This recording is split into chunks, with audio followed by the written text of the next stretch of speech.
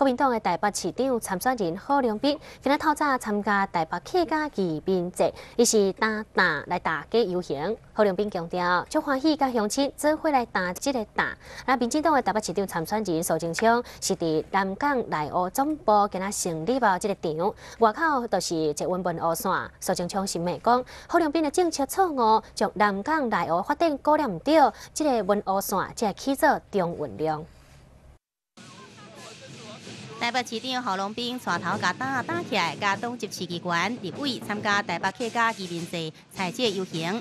来自全台五十八个乡镇的客家乡亲，装扮做各式各样的造型，敢若亲像嘉年华会同款。挑担奉饭的活动啊，我觉得这是一个承担，而且跟到客家乡亲一起挑这样的担子，心里非常愉快。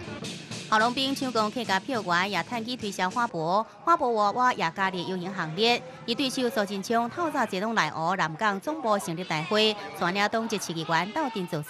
苏金昌，苏金昌，离总部外口就是文湖山接运，苏金昌批评郝龙斌决策错误，来湖南港近年来发展文湖山兴建正最中运量是错误决策。